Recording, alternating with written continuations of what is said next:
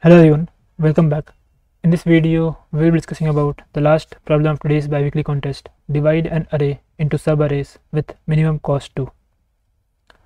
The problem is a two pointers problem and just like with any other two pointer problem, if you don't proceed towards the two pointer approach, more often than not, you will end up applying a range query data structure, something like segment tree of n victory so in this video, we will be discussing both the approaches, the two pointers piece and why two pointers are applicable or how to understand the two point that you can apply two pointers here. And then we will also discuss the segment tree version without two pointers. All the timestamps will be there in the description down below. So if you are interested in just a specific solution, feel free to move to that part but I would encourage you to watch the entire video so that you can understand the different approaches to solve this problem. So with that, let's get started. The problem states that you are given a zero indexed array of integers num of length n and two positive integers k and dist. Now the cost of an array is defined as the value of its first element. For example, the cost of 1, 2, 3 is 1 and cost of 3, 4, 1 is 3. Now you need to divide nums into k disjoint continuous subarrays such that the difference between the starting index of the second subarray and the starting index of the kth subarray should be less than equals to dist. So for example, if uh, your subarray first subarray is 0 to i1 minus 1, second subarray is i1 to i2 minus 1, third subarray is i2 to i3 minus 1 and so on and so forth up till ik minus 1 to n minus 1 so the condition is ik minus 1 minus i1 should be less than equals to dist. If this condition is satisfied then only the given partition is a valid partition. So among all the valid partitions you have to return the one which have the minimum possible sum of the cost of these subarrays. So let's take an example. Let's say the array is 132642. K is 3, dist is 3. It means you have to divide it into three partitions and the partition will be valid if the difference of indexes between the second and the third partition because why third? Because third is the la last partition. So the difference between the second and third partition starting index should be less than equals to 3 so one of the valid partition is 132 sorry 13264 and 2 so in this case you can see the second the starting index of the second array which is i1 is 2 0 1 2 right and the starting index of the last subarray is 0 1 2 3 4 5 so 5 minus 2 is less than equals to 3 and hence this partition is a valid partition. Now what will be the cost of this partition? It will simply be the cost of each of these subarray and you add them up. So cost of this subarray is 1 because it is the first element. Cost of this subarray is simply 2 and cost of this subarray is 2 2 plus 2 plus 1 5 so the cost of this partition is 5 similarly there are other valid partition. For example 1 3 2 6 and 4 2 this is again a valid partition. So among all other valid partition if you figure out the cost of all those partition you will not be able to get a cost of less than 5 and hence the answer here is 5 so hope the problem statement is clear. Now how to solve this? So one of the very brute solution would be try out every partition understand whether it is valid or not. If it is valid just uh, find out its sum and take the minimum across all of them. That solution surely will not pass because the complexity of that solution would be some uh, ncr format right? Because it's kind of a stars and bars problem. You have some stars and you have some bar. You have to divide stars into some bars. So it will be of the order ncr which will surely not pass because n here is 10 power 5 right? So what we have to do is some optimization right? So let's start with the first array. First array will always start from index 0 no matter what right? Because we have to divide the array into contiguous subarrays. So we know first array will always start at index 0 and similarly last array will always end at index 9 that is the two point we know about. So in this case let's say we have to partition it into four partition. So what will happen is you will have four different partitions right? Let's say something like this. Now once you have these partitions you have to find out the cost. The cost would be the sum of first elements of these partitions right? So sum of these four elements will be the cost. Now this element we already know about. This will always be 2 no matter what right?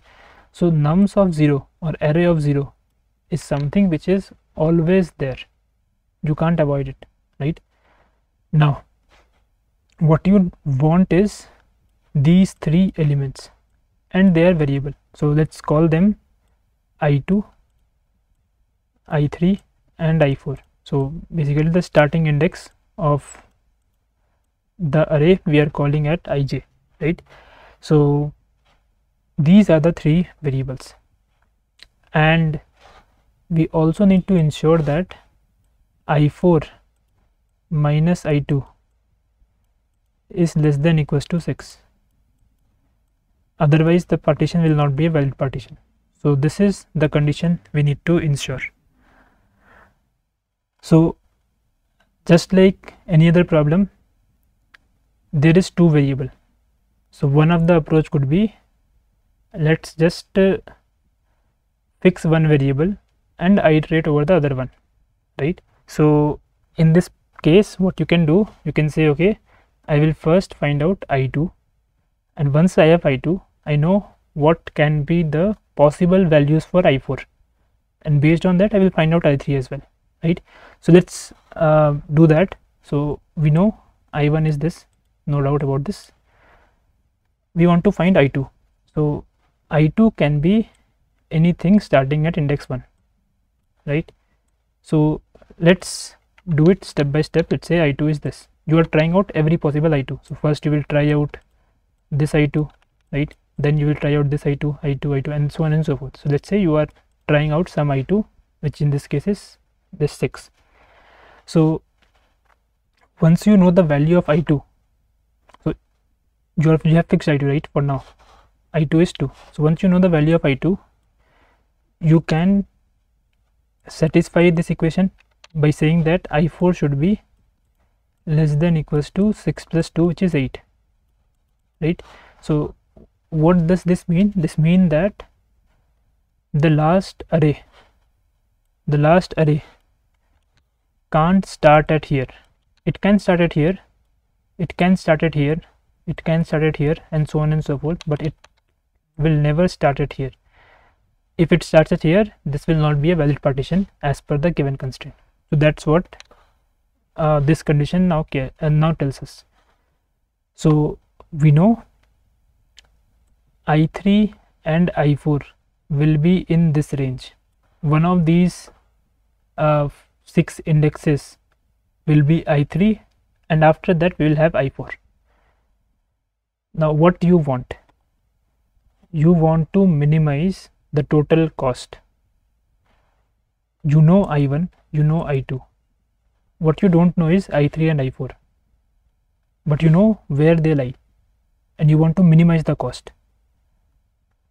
So what is the approach uh, what is the obvious approach? Obvious approach would be just find out two elements with the least value and that we will make it i3 and i4 so in this case you will say okay um, i will find out these two elements which have the smallest value. So I will just make this i3 and this will be my i4 and because we have already taken care of this condition we don't need to worry about the validity of this particular partition.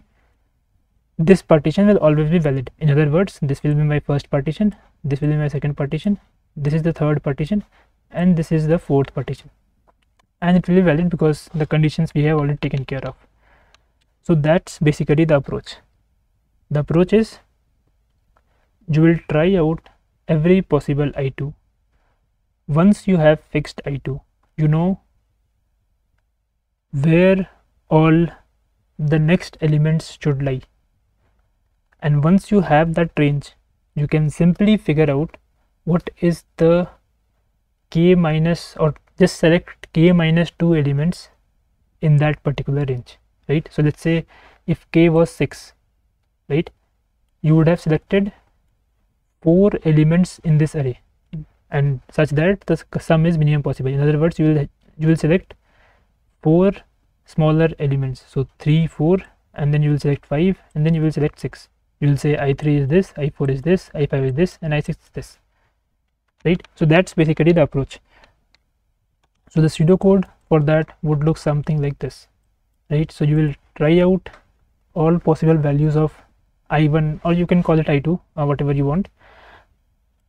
You will just find out every pos try out every possible values of i2 and uh, once you have fixed i2 you will not you will know what will be the max value of ik and once you know the max value of ik you know you have to select k minus 2 minimum elements in this particular range. And these are the two arrays that or the cost the cost of the first two arrays that you have already fixed. So this will be total cost when i1 or i2 whatever you call is this particular index. And similarly you will try out every other possible i1 and for each of them you will find out the best possible cost.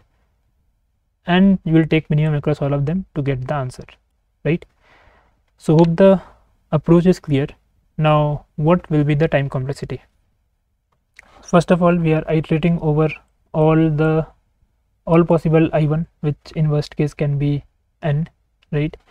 After that we are finding out some minimum k minus 2 elements in a particular range. Now this range in worst case can be of order n. And given an array you have to find out k minus 2 smallest element.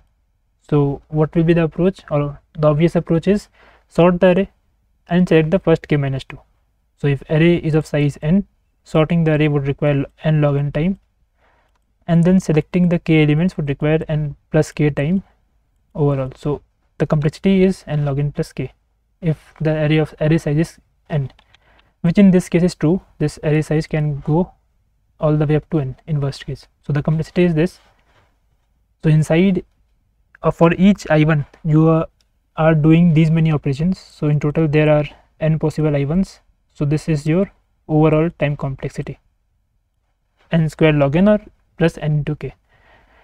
Now this complexity will not pass as well because n and k both are of the order 10 power 5 but this is lot better than the previous one which was exponential or rather exponential in terms of n. If you remember ncr was the total number of uh, partitions that you can have right in the in this particular form. So this is lot better. And in fact uh, there there were there was different problems as well uh, which uh, I think the first problem is very similar. You can try this particular approach with the first problem and I assume it will pass. So now we have to optimize this as well. So again two parts to it. One is you are iterating over all possible i2 and second what you are doing for each i2 obviously this part you will not be able to optimize easily because if you don't iterate over all the i2s you need to come up with a strategy such that you select the i2s which you care about which is a bit difficult so let's try to optimize this part so the goal is we have to find the sum of k smallest element in the range L to R. Now here comes the two pointer piece. So if you don't understand the semantics of L and R here. You will under you will try to solve this problem as a generic range query problem that given any L and R I need to find the sum of the k smallest element which is very hard problem. I would not say that hard but uh, we have discussed that sometimes in the past as well but bit hard problem to solve. If you say L and R can be anything. But in this particular case L and R follow a very nice pattern. If you look at what is the value of L and R here it is i plus 1 comma max ik and if you uh, look at max ik it is i1 plus dist so in other words L and R is simply i1 plus 1 all the way up to i1 plus dist right? So this is the value of L and R. Now let's say i1 you incremented i1 plus plus. So previously let's say i1 plus 1 is x i1 plus d is y. Now you do i1 plus plus. Now what will be the range? The range will simply be x plus 1 comma y plus 1 right so in other words what's happening is if in the previous iteration L was this and R was this in the next iteration L will be this and R will be this. Now what's the magic here? The magic here is previously this was the range right? And now this is the range. And what is difference between these two range only one element. This element was removed and this element was added. Now if you are somehow able to add and remove elements efficiently and keep track of k smallest element you don't need to apply any range query data structure and you will be able to solve the problem as well. So let's start with this approach first and after that we will be discussing the range actual range query way to solve this problem in general right? So we have to find out the sum of the k largest element in this range. Let's say and we know that uh, difference between L and R would uh, be 5 because D is 5 so if uh, this is 2 this will be R right? So let's say this is your first range right? You take all the elements and you put it in a sorted manner. You can use set or map or anything. You just use a sorted data structure. So in this case we have 664735 so you just keep adding them in a sorted structure and keep maintaining only three of them so for example you'll start from here right? You'll say okay i will add six. Let's add six right? Now you'll come here. One more six. Let's add one more six. Fine. You'll come here. Four. Okay four. Let's add here. 7 now once you add 7 here the size of this list is greater than k. And you only want k elements or k smallest element. So just see which is the largest element and remove it. So what you want is you want a data structure that can give you the largest element efficiently right? That's the first requirement. Now we know 7 is largest so let's remove it. And let's put it in a different sorted structure. Now why?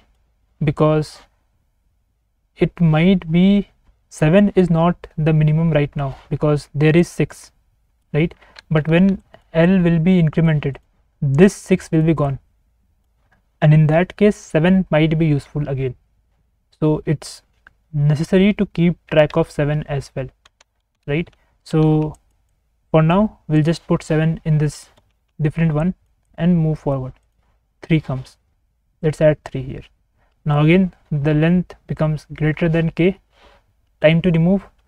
So we'll remove the smallest one. Let's say we'll remove 7 uh, we remove 6 so we remove 6 from there and add it to the different structure sorted structure because this might again be useful. Now finally 5 so we'll add 5 time to remove because the size is greater than 3 which you which one you remove? The smallest the largest one which is 6 so you remove this and put it in a different structure. Now once you have done this exercise you know this are the k smallest element and these are the rest of the elements right? Which you don't care about right now. So once basically you don't need to now sort the array. You already know the k smallest elements. But you want the sum. So while doing this entire exercise you can just maintain a sum array right? And whenever you are adding an element in this data structure you will increment that. And whenever you are removing it you will decrement that. So this sum array would simply contain the sum of all the elements in this structure. So now you have iterated over the array from L to R once and you get the total sum of the k smallest array. So you iterated over everything between L and R. So you iterated over these many elements. You added and removed elements one by one. So each operation will take log n time if you use set or any uh, sorted tree structure. So these are the number of operations in which you are able to get the sum of k smallest element in this range. Now here comes the magic. Let's say L is now this and R is now this. So whatever you had was valid for this particular range. Now the range has increased right? So what will you do? You will remove this element and add this element right? Let's first add because adding we know how to do. So we'll just simply add here. We'll say okay the size is greater than 3 so remove one and add it add the largest one here. That we know. So now we know that our data structure has these many elements into it now we need to remove this element. How to remove? So let's look at where this element exists. Does it exist here or it exists here?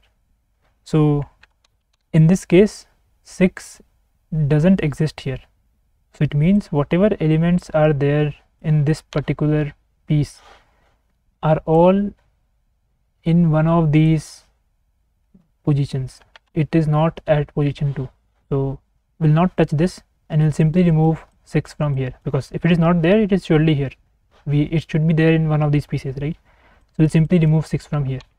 So in essence this is now our data structure for this particular L and R. So what we have done we have lookup or uh, first of all we have inserted something. So insertion will take log n time so one extra log n right? After that what we have done we looked up 6 in this we looked up 6 in this. If it exists here we'll remove it.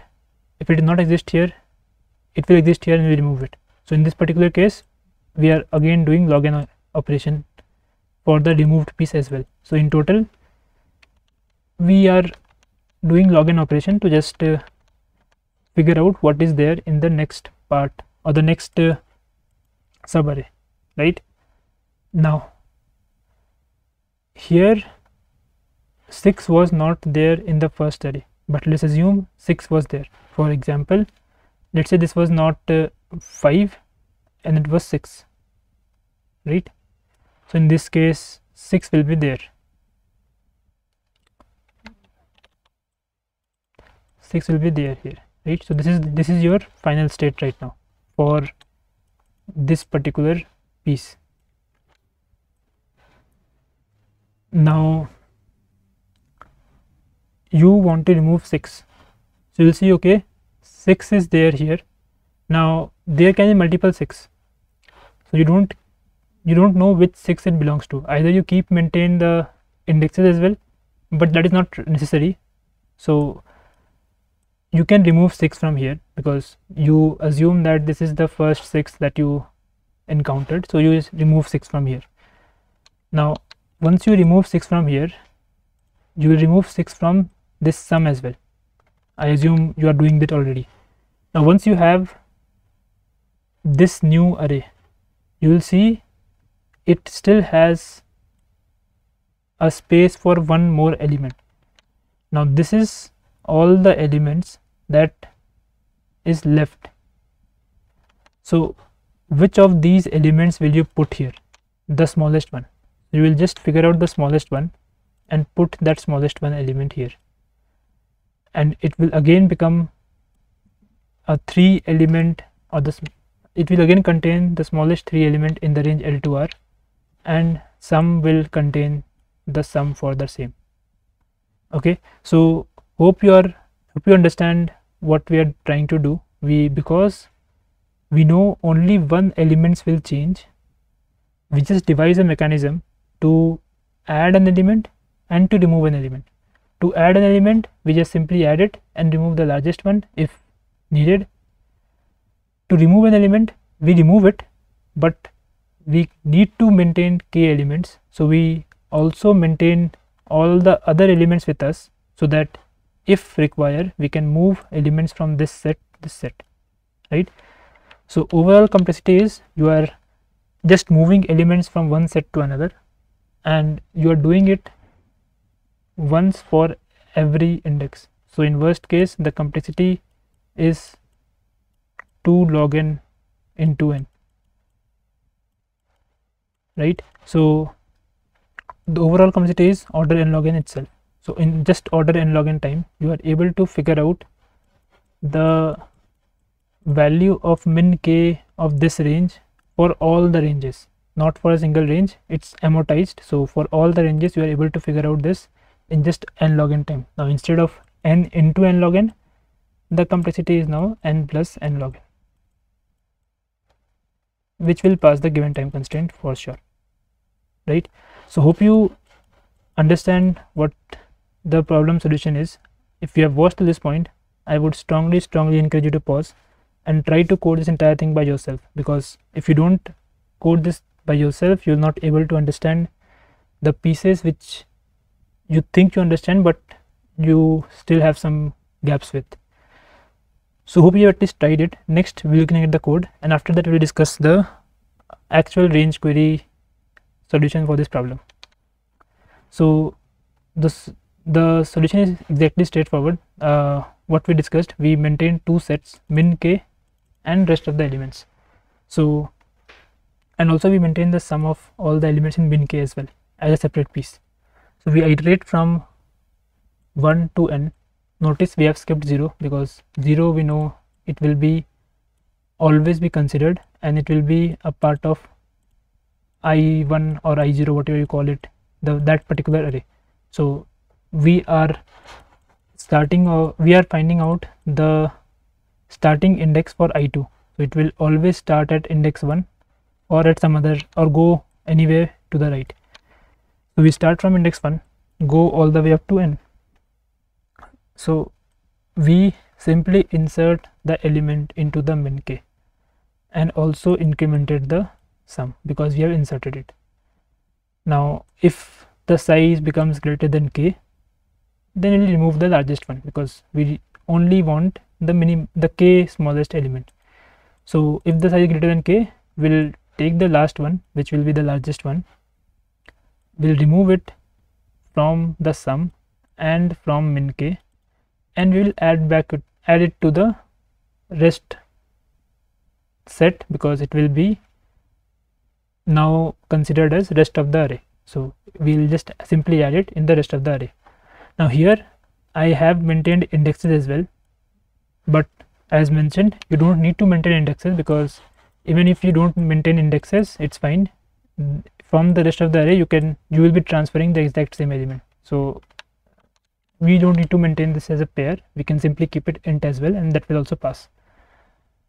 So from this part we know we have considered everything in the range L to R plus 1 now if it is a valid L and R so notice we are going from all the way from 1 to n. Let's say i2 is this. So if i2 is this there is no place for i3 and i4 right? So that's what we are checking. We are checking if i minus dist is greater than 0 it means we have enough elements that we want right? So we will if this is the case we'll have uh, all the key elements with us. So we'll simply do answer is equals to min of answer comma sum because sum will contain the sum of minimum k elements. Now if that's the case we will now remove the previous lth element. So if you remember we have everything from l to r plus 1 because we are keep we are adding everything as and when we are getting to it. So now we have everything from l to r plus 1 so for the next range we have to remove this as well right? So that's why we figured out what we need to remove.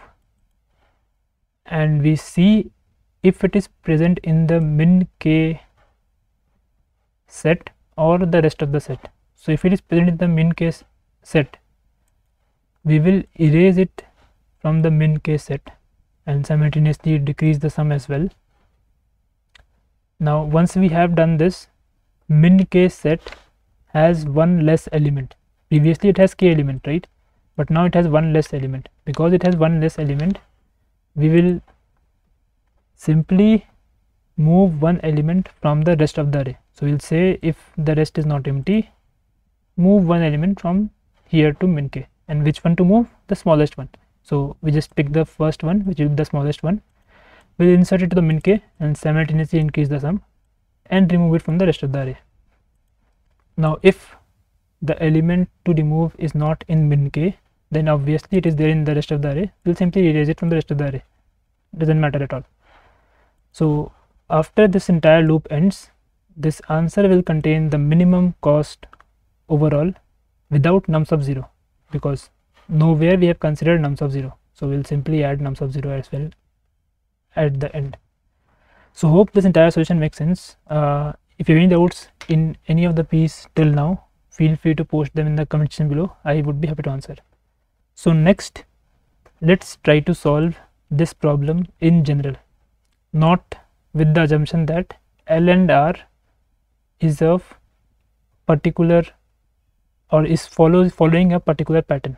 So now L and R can be anything and we have to solve for that. We have to answer that for any L and R in simply log n or log square n or something of that sort not in order n for sure right so this one was amortized n log n but now we want actual n log n or n square log n kind of solution right so how to do that uh, notice d doesn't matter here because now we are not considering what l and r could be. L and r could be anything right? We just want k smallest element. So how to solve this? One of the way brute force manner brute force solution we have already discussed. Just uh, sort the array. Put pick, uh, put pick the k smallest one. But we can't always sort the array because sorting the array itself will take a lot of time so the solution starts from the fact that let's say instead of finding out the sum of k smallest element you have to just figure out kth smallest element when you have sorted the array. Kth smallest element when the array is sorted. For example if this uh, l2r array is sorted it will become 3 4 5 6 7 and 8 right? So if k is 3 will return 5 so we want kth smallest element in the sorted version. And this problem we have discussed multiple times in this channel. This can be solved using segment trees and various versions of segment tree. One way could be to use persistent segment tree one way could be to use merge sort tree right?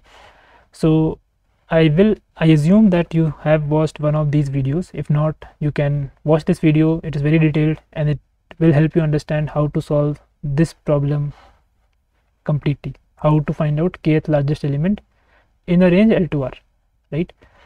Now I will I assume that you have already watched it. So let's just do a quick recap of how to find out kth largest element in a range. So let's say you build merge sort tree. I'm explaining the merge sort tree part but uh, persistent segment part will be exactly similar. You can just refer to the video. So let's say case 3 you want to find out the third largest element in the range 1 to 6 so what will you do you will simply query the segment tree just you and just like usual segment tree so you want to query in the range 1 to 6 is it overlapping? Or is it fully overlapping? No. Is it partially overlapping? Yes. So we'll go to the both we'll go both both the sides right now here we will come. Is it fully overlapping? No. Partially overlapping yes. So we have to go both the sides. Right? We'll come here let's say is it fully overlapping? Answer is no. Partially overlapping yes. So we'll go both the side. Is it fully overlapping? No. Is it partially overlapping? No. It is not overlapping at all. So basically we will not get anything from here. So what this means is when the array is sorted this will this element will not contribute to the array which makes sense because it is not present in the range 1 to 6 right? Now we'll come here. So we get 0 from here. Now we come here. Okay. Uh, is this fully overlapping? Yes it's fully overlapping. So this will be considered completely. Now this entire array will be considered. Now to figure out the kth largest element we will do a binary search over the kth largest element. Let's say we are now figuring out how many elements are there which are less than equals to x. If we get that number of element less than equals to x is greater than k then we will not search in the right half at all we'll only search in the left half because we know if number of element greater than x is k oh sorry less than x is k then what we are searching for is in the left half completely. Similarly if it is less than equals to k or number of element which are less than equals to x is less than equals to k then we know what we are searching for uh, let's say this so what we are searching for is in the right half so we can completely skip the left half and only search in the right half. So that's how we'll do binary search. So we are doing a binary search and let's say x is currently 4 so what we want to know how many elements are there which are less than equals to 4 so we'll come here. We know this entire array is part of our final array and this array is sorted because this is the merge sort tree so everything is sorted. So we'll simply do a binary search over here to figure out how many elements in this piece is greater than or is less than equals to 4 right? So number of elements which is less than equals to 4 in this array is 0 so again this will return 0 now overall 0 plus 0 0 so this will again return 0 now we'll go right 2 comma 3 fully overlapping. So again same question we ask how many elements are there which are less than equals to 4 in this part of the array? Do a binary search you will get 0 because no no of the none of the elements is greater than or less than equals to 4 so we'll return 0 here. And we finally return 0 from here as well. In the same fashion you will go in the right side. Is it fully overlapping? No. Partially overlapping yes. So we'll go both the sides. Fully overlapping yes. So these two elements will be considered so we'll do binary search. Number of elements which are less than equals to 4 is 1 so we'll return 1 from here. And in the same fashion you will get 1 from here as well if you go downwards. So overall you will get 2 number of elements which are less than equals to 4 will be 2 in this particular range. And uh, you can check that as well. Num there are only two elements which are less than equals to 4 right? So because 2 is less than 3 it means what we are searching for is greater than 4 we want kth largest element. So 4 is just the second largest element. So what we are searching for is greater than 4 so we'll search in the right half and come and again we'll come up with some more x dash. We'll do the entire thing again and figure out the uh, process. So what is the overall time complexity of this entire algorithm? The overall complexity of this entire algorithm is uh, log cube n. Why? First of all we are doing binary search. So for that binary search we are doing uh, will need log n operation. Then for each by for each x what we are doing we are doing a range query data structure so we will be visiting log n number of nodes in this tree and once we have log visited log n number of node at each node i am doing a binary search.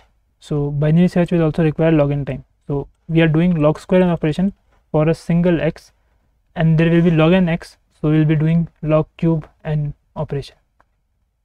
So in log cube n we are able to find out uh, the smallest the number of elements which are less than equals to k.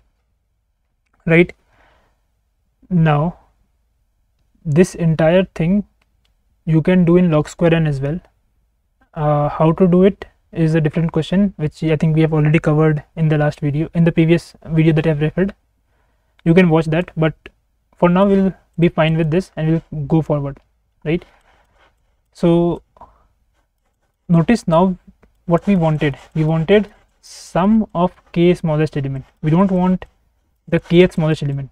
In other words what we know about is that 5 is the kth smallest element. That is I want every the sum of everything up till 5 that's what we know currently. But we don't know the actual sum. That's what we are interested in sum of kth smallest elements right? So we want to find the sum as well. The only thing that we need to change here is instead of maintaining only the sorted version let's maintain the prefix sum as well so we will simply maintain prefix sums at each level.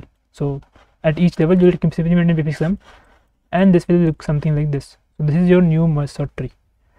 Now you will apply the exact same thing this time instead of returning just one number from each node. You will return two number. First one will denote the count of element less than equals to x which was already there. Second one will denote sum of all those elements which are less than equals to x. And how you will get that? By simply doing uh, by simply referring to the prefix sum right?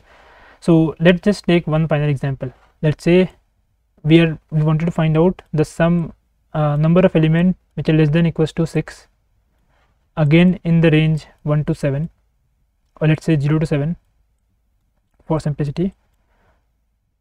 Um, let's 0 to 6 let's make it uh, 0 to 6 so we want to find out the number of sm number of elements which are smaller than equal to 6 in the range 0 to 6 and this time we want two things number of such elements and sum of all those elements as well right? So let's start so we'll come here. Fully overlapping? No. Partially overlapping yes. So we'll go in both the sides. Right? Now we'll come here. Fully overlapping yes. So this entire thing will be considered. So we'll simply do a binary search over this array for x equals to 6 so we'll get this particular index. In other words we'll see we'll say two elements are there which are smaller than equals to 6 now along with this we will also return this. Because we know everything up till 6 has a sum of 8 so we will also return 8 right? In the same fashion we'll on the we'll go on the right side. In the right side we'll again see fully overlapping no partially overlapping yes. So we'll go both the side. We'll come here again. It is fully overlapping. So we'll consider both. Number of elements less than equals to 6 we'll do a binary search. We'll come to here we'll say okay one elements are there one element is there which are less than equals to 6 so we'll return 1 apart from 1 we'll also return 4 here because sum of all those elements will be 4 in the same fashion you will come here and do the same thing. Uh, it is not fully overlapping. It is partially overlapping so we'll go in both the direction. From here you will get 0 comma 0 because it is not overlapping at all. From here you will get 3 comma 3 right so in total you will return 3 plus 3 0 plus 3 plus 0 that is 3 comma 3 as well. And finally from here you will return 1 plus 3 sorry you will get 1 comma 3 from here. Number of element is 1 and sum is 3 so you will return 1 comma 3 from here. And finally from here you will return 2 comma 7 right? So number of elements is less than equals to 6 is 1 plus 1 2 sum of all those elements will be 4 plus 3 7 and finally this will return 2 plus 2 4 and 8 plus 7 15 so 4 comma 15 so number of element which is smaller than equal to 6 is 4 and sum of all those element will be 15 so when your binary search will end this value will give you the sum of least k elements right? So the code for entire thing will be exactly what we have discussed in this video only change will be you will be building one new array right?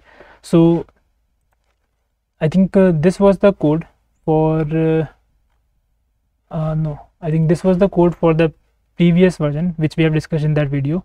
So we will simply modify this code. So let's just uh, come here and uh, this is what I have written. We have simply modified that exact same code merge function is exactly similar. We haven't changed this function at all. And what we have done is uh, changed this build function and added these two lines. We are just finding out prefix sums as well nothing else right? After that the thing that we have changed is previously it was returning an integer now it is returning a pair. And first part is the count second part is the sum. So the neutralizing values is 0 comma 0 now if it is fully overlapping we were doing binary search. This part is exactly similar. Now previously we were returning index. Now instead of only index we will also return prefix sum of index. And finally this part is exactly the same. Just instead of returning a simple plus we will do sum of count and sum of sum as well and return that. So nothing changed much in the segment tree class as we see. And in the query part as well nothing will change. This was the query part previously and this will remain the query part. And uh, now we want the k minus 2th smallest element. The only catch here or the gotcha here is you may get more than so let's say all the elements let's come here let's say all the elements are 2 right? So there are 2 2 2, 2 all the way up to 100 times. And you want you wanted to find out fifth smallest element. Now fifth smallest element will be 2 itself right?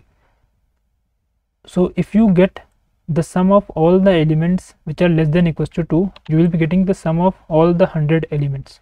But you don't want that. So you know that after 5 as well everything else is 2 right? So you can simply remove their contribution by subtracting 2 times the number of extra 2's right? That's what we have done. This was the sum. We just removed the contribution which was extra. So we only wanted k minus 2 elements and we know the last element will be repeated right? So last element is l we removed whatever how many extra times it has repeated and simply this will denote the sum of all those k minus uh, or k minus 2 elements. And we added nums of i1 because this is the value of the ith one right? So overall this uh, the complexity of this entire solution is n log cube n which is passing most of the test cases just uh, i think last three test cases was not passing so you can simply convert into n log square n by using a small trick uh, of segment tree. Otherwise, you can also use uh, persistent segment tree which we have discussed. Here as well, everything will be same. You just need to instead of uh, count, you also need to maintain the prefix sum, and you will be done, right?